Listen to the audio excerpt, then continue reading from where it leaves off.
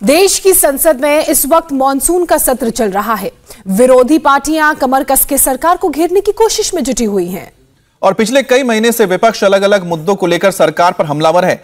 ऐसे में India TV आपके लिए लेकर आया है इस वक्त का सबसे बड़ा सर्वे। इंडिया टीवी मेट्राइज का सर्वे बता रहा है कि अगर आज चुनाव हुए तो प्रधानमंत्री नरेंद्र मोदी को तीन सीट मिल सकती है।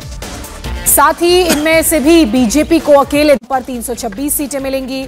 वहीं ईडी की सोनिया से पूछताछ को लेकर आग बबूला, कांग्रेस सिर्फ़ उनतालीस सीट ही जीत पाएगी। दूसरे विरोधियों का भी यही हाल है। अगर आज चुनाव हुए तो ममता बनर्जी सब सिर्फ़ 26 सीटें जीत पाएँगी। वहीं अरविंद केजरीवाल के खाते में जाएँगी पाँच सीटें।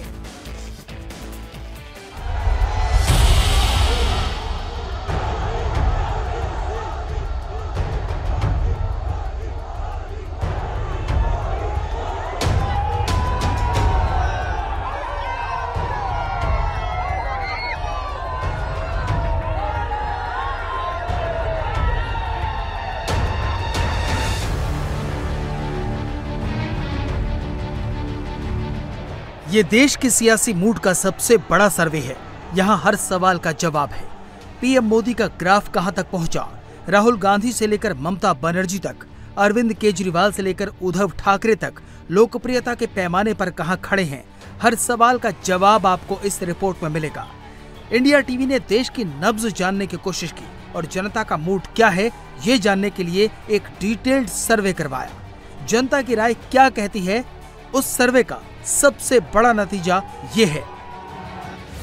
इंडिया टीवी मेट्राइज के सर्वे के मुताबिक, अगर आज लोकसभा चुनाव होते हैं तो एनडीए को दो सौ बासठ सीटें मिल सकती हैं, यूपीए को सत्तानवे और अन्य को महज चौरासी सीटों पर संतोष करना पड़ेगा। यानी देश में पीएम मोदी की लहर नहीं, आंधी बरकरार है।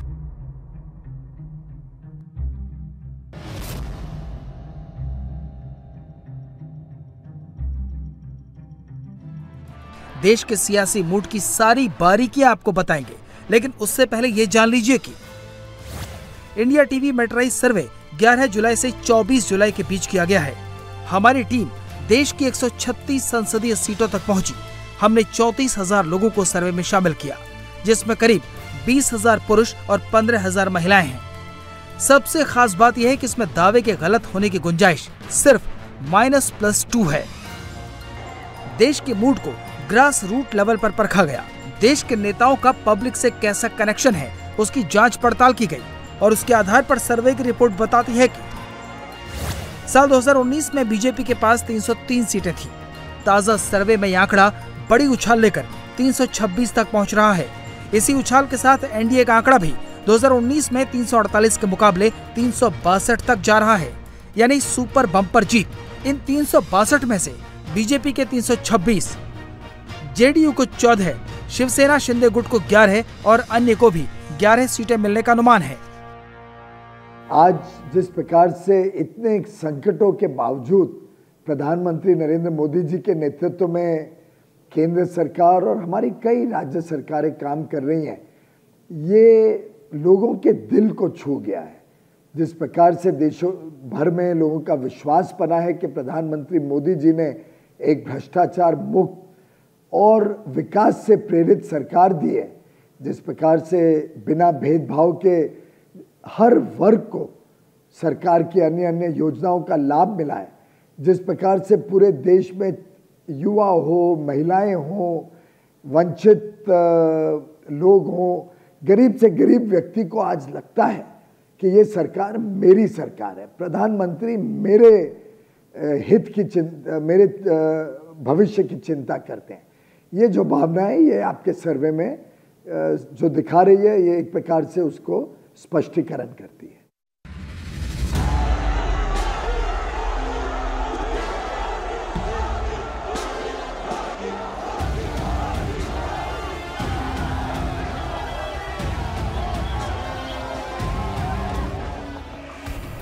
पीएम मोदी का ग्राफ बढ़ता हुआ साफ़ दिख रहा है, बावजूद इसके कि विरोधी संसद से सड़क तक बवाल काट रहे हैं। देश के हर मुद्दे में आरोपों की तोप सीधे पीएम मोदी की ओर घुमा रहे हैं। ऐसे में एक बार विपक्ष की सीटों का अनुमान भी देख लीजिए।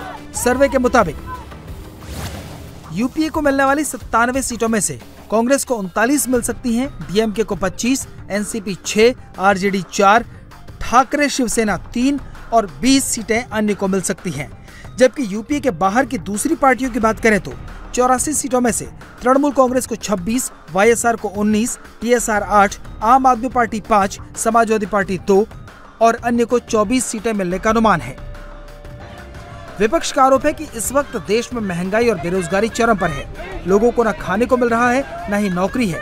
सर्वे में इन सवालों को शामिल किया गया तो जवाब मिला। देश में सबसे बड़ा मुद्दा पीएम मोदी का चेहरा है। उसके बाद लोग पीएम मोदी के विकास के मॉडल के मुरीद हैं। महँगाई को सत्रह फ़ीसदी, रोज़गार पंद्रह फ़ीसदी और अपने सांसद की छवि को छह फ़ीसदी लोग असली मुद्दा मानते हैं। ये बेरोजगारी की बात कोई आज से उठा रहे हैं क्या? ये तो हमेशा उठाते हैं। महँगाई की बात कोई आज से उठा रहे हैं क्या?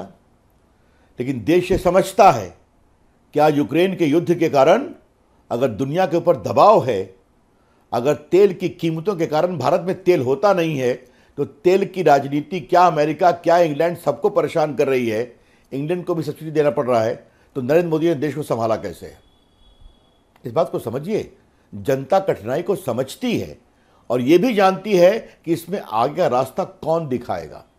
हमने कभी नहीं कहा कि सबको सरकारी नौकरी मिलेगी। लेकिन मुझे यह बताइए कि अगर देश में नेशनल हाईवे इतनी बड़ी संख्या में पहुँचे हैं तो उसको बनाने में लोगों को रोज़गार के अवसर मिले हैं कि नहीं? अब बात करते हैं देश की सबसे बड़ी आबादी वाले राज्य यूपी की, जहाँ बीजेपी की डबल इंजन की सरकार है। प्रदेश में सीएम योगी का चेहरा है तो देश में पीएम मोदी का। यूपी को लेकर इंडिया टीवी के सर्वे के मुताबिक, बीजेपी छिहत्तर सीटों के साथ इतिहास रचती दिख रही है। अखिलेश को केवल दो सीटों से ही संतोष करना पड़ सकता है। मायावती का तो खाता भी नहीं खुलता दिख रहा। वहीं राहुल गांधी की पार्टी एक सीट से दो पर पहुँच सकती है। 2024 के लोकसभा चुनाव में माननीय श्री नरेंद्र मोदी जी को फिर से देश का प्रधानमंत्री बनाने के लिए यहाँ के जन मन में जो गूंज रहा है, वो पचहत्तर प्लस गूंज रहा है। और आप पचहत्तर प्लस का नंबर लेकर के आए हैं, मैं इसके लिए धन्यवाद करता हूँ। लेकिन कहो, विरोधियों का खाता भी ना खुले तो कोई आसर इसलिए मत करिएगा, क्योंकि जनता का भरोसा मोदी जी हैं, गरीब का भरोसा मोदी जी हैं, महिलाओं का भरोसा मोदी जी हैं, भ्रष्टाचार खत्म करने की गारंटी मोदी जी हैं, सीमाओं की सुरक्षा मोदी जी हैं। किसानों की आमदनी बढ़ाने का जो लक्ष्य पूरा करने का विश्वास मोदी जी हैं तो यह मोदी जी के प्रति जो देश का भरोसा है, नौजवान का भरोसा है, बड़े बुज़ुर्गों का भरोसा है, गाँव के अंदर कोई गरीब से गरीब परिवार में जाइए, सबका साथ, सबका विकास का मंत्र गाँव गली गलियारे में आज गूंज रहा है।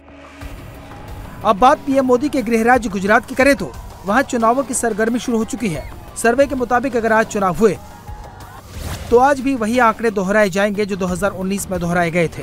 यानी कि गुजरात की 26 में से 26 सीटें बीजेपी के खाते में जाती दिख रही हैं। गुजरात के बाद रुख महाराष्ट्र का, जहाँ सियासी हलचल का तूफ़ान अभी शांत नहीं हुआ है। उद्धव के नेतृत्व वाली सरकार जा चुकी है, शिंदे गद्दी संभाल चुके हैं। ऐसे में सर्वे का नतीजा बताता है कि बीजेपी को तीन सीट का फ़ायदा हो सकता है। उद्धव ठाकरे को नुकसान होगा तो शिंदे अपना वजूद बचा ले जाएँगे। शरद पवार की ताकत बढ़ सकती है थोड़ा फ़ायदा राहुल गांधी को भी दिख रहा है। डिप्टी सीएम जो है, देवेंद्र जी जो है फडणवीस सर है, उनको, उन्होंने भी पिछले पाँच साल में मुख्यमंत्री के रूप में उन्होंने भी अच्छा कार्य किया अभी हम लोग दोनों मिलकर काफ़ी मेहनत कर रहे हैं और लोगों को जो चाहिए, वो देने की कोशिश हम लोग करेंगे। हम विकास की भूमिका ली हुई है। हम शिवसेना प्रमुख जी की भूमिका लेके आज आगे बढ़ रहे हैं। और यही लोगों की भूमिका है लोगों को भी पसंद है ताकि ये हमारा सरकार जो है ये सभी वर्गों के लिए काम कर रही है। आ, हमारी सर मैं किसी के ऊपर क्रिटिसाइज नहीं करूँगा या किसी को नीचे दिखाने का मेरा स्वभाव नहीं है लेकिन हम काम करके हमारी रेखा को बढ़ाएँगे आगे बढ़ाएँगे रेखा को लंबा करेंगे हम किसी की रेखा को पोछने का काम हम लोग नहीं करते ये मेरा स्वभाव नहीं है। महाराष्ट्र के सीएम के पास वक्त है लेकिन एमपी में चुनाव अगले साल है। सर्वे बताता है कि एमपी में बीजेपी को 29 में से 28 सीटें मिल सकती हैं, जबकि राहुल गांधी को केवल एक सीट से संतोष करना पड़ सकता है। मध्य प्रदेश और राजस्थान के विधानसभा चुनाव एक साथ हैं। राजस्थान सांप्रदायिक वारदातों के लिए सुर्खियों में है। अशोक गहलोत पार्टी और पब्लिक दोनों फ्रंट पर जूझ रहे हैं। ऐसे माहौल में सर्वे बताता है कि बीजेपी इस बार भी राजस्थान में क्लीन स्वीप कर रही है। 25 की 25 सीटें पीएम मोदी के खाते में जाती दिख रही हैं। बात पश्चिम बंगाल की करें तो वहाँ का सर्वे अपनी पुरानी कहानी दोहरा रहा है, यानी ममता और मज़बूत हो रही है। सर्वे के मुताबिक बीजेपी की सीटें कम हो सकती हैं, ममता को चार सीटों का फ़ायदा हो सकता है, हालाँकि राहुल गांधी की सीटों पर कोई फ़र्क पड़ता नहीं दिख रहा। और अब बात बिहार की, जिसे भारत का सबसे जागरूक राजनीतिक राज्य कहा जाता है। बिहार में पीएम मोदी को बम्पर फ़ायदा होता दिख रहा है। पिछली बार 17 सीटें मिली थी, आज चुनाव हुए तो 21 मिल सकती है। नीतीश कुमार को दो सीटों का नुकसान है, पासवान के दोनों गुटों का खाता खोलना मुश्किल है तो राहुल को केवल एक सीट से संतोष करना पड़ सकता है। सर्वे बता रहा है कि पीएम मोदी के सामने दूर दूर तक कोई नहीं। संसद के अंदर और बाहर बवाल काट रहे विपक्ष को देखना होगा कि वह जिन मुद्दों के लिए लड़ता दिखाई दे रहा है, क्या पब्लिक उससे जुड़ भी रही है। इंडिया टीवी हर वक्त, हर जगह। डाउनलोड करने के लिए सर्च करें India TV news Google Play Store या एप स्टोर पर।